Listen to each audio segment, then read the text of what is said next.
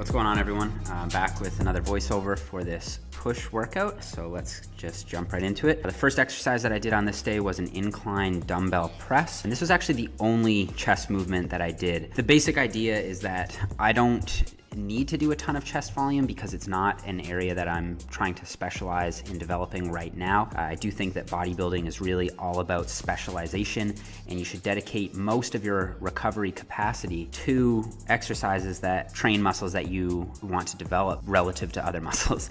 Um, so basically weak point prioritization. Chest is definitely not a weak point for me and so I allocate the majority of my volume on push days to shoulder work. In any case, uh, I do like to kick it off with an incline press. I think that pretty much everyone can always do with a little bit more upper chest. Just to make sure everyone's on the same page, the pec major muscle has two heads, so a clavicular head and a sternal head. The clavicular head is that part of the chest that has the fibers descending and it attaches at the clavicle, hence the name. And I wanna focus on two resources here. Uh, so the first is, to my knowledge, a German book that I definitely didn't get my hands on, but I was pointed towards it by SuppVersity and is uh, where I've actually pulled a number of the studies for these videos from. A book by Bohec, Behrens, and Buskies, published in 2000 is referenced, in which it was found that, surprisingly, the decline press was best at activating the upper pec fibers. However, it wasn't controlled for load. So when you normalize the findings to control for load, you find that a 45 degree incline had a 69% increase in upper pec activation relative to PEC activation overall. And so it can probably be fairly confidently concluded that some sort of incline is probably better for stimulating the upper pecs, which makes sense based on what we know about biomechanics and how the fibers run. And then the other paper in support of this is Trebs et al. 2010. And as you can see from the graph, there's not a whole lot of difference between zero and 56 degrees, uh, but there does seem to be something of a sweet spot around 44 degrees. In case anyone was wondering, uh, load was matched in this paper. But even with that said, guys, there's not a whole lot of difference here. We're talking about pretty small differences in EMG activity. So ultimately, I think you should find an angle that you can feel best. You can establish a mind muscle connection with your upper pecs on and then roll with that. After the incline dumbbell press, I moved on to a machine shoulder press. And the main reason why I'm using the machine here is in part because I'm not able to do overhead pressing right now because my lower back is still giving me some trouble. Uh, so the machine is just a little bit more comfortable for me. But also I do really like using machines here, especially if I'm using free weights for my main chest movement because I can take the sets closer to failure. I'm planning on doing a podcast on this topic in the coming month or two, but I'll just keep it brief here and say that I, I, do think, or at least I'm under the opinion, that the research does indicate an advantage to training uh, to failure. And just as two quick examples of this, you have Dysing 2016, in which trained subjects were found to have an increased hypertrophic response as a result of training to failure versus not training to failure using a high load. And then Burd et al. 2012 also found support for increased muscle protein synthesis in the post-workout period when the subjects were training to failure.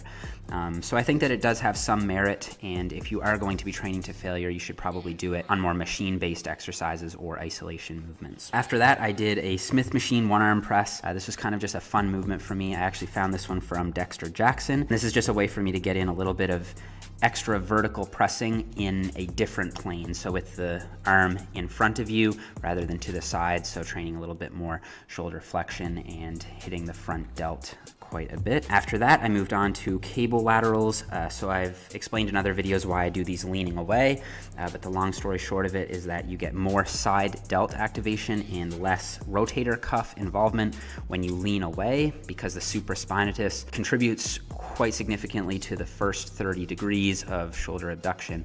Uh, so by leaning away, you get more side delt involvement. And I'll do a few of these to the front and a few of them behind.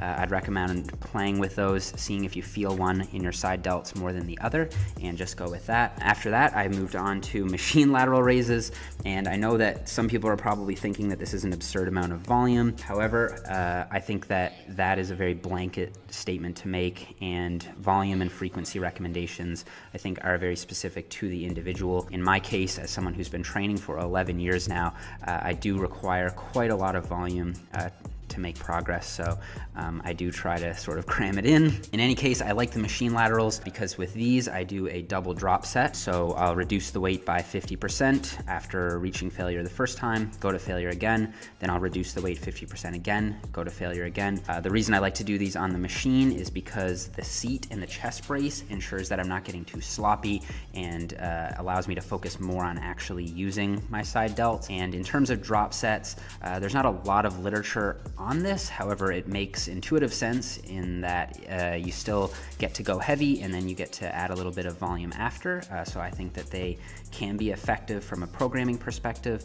And then they do have some empirical support in terms of increasing total workload as seen in Bentes 2012. So then I finished off all of the shoulder stuff uh, with a cable upright row. This of course does hit the traps to a degree, but primarily the side delts through shoulder abduction.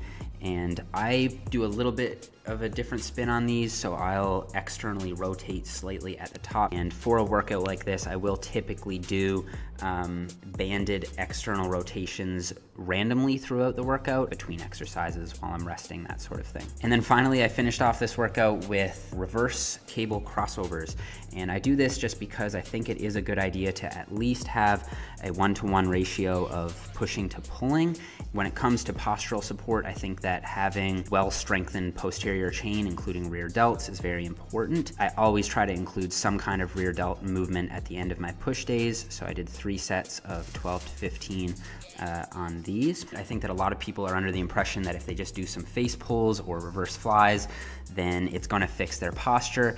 Um, I don't think that's the case unless you have a specific imbalance. However, it certainly isn't going to hurt to train them directly. And when it comes to fixing posture, I think you do have to do a little bit more than this. And that could be as much behavioral and having to undergo specific postural retraining as much as strengthening a muscle that uh, might not be uh, strong enough for you to keep yourself upright. That's gonna conclude this workout commentary, guys. I hope that you liked it. I plan on doing a more in-depth one in the future as this is just my current routine, not necessarily what I would recommend to everyone else. Uh, so for those of you who have been requesting a chest workout or a scientific chest workout, uh, I do plan to do that in the near future. So stay tuned for that. And I hope that you enjoy the rest of this vlog.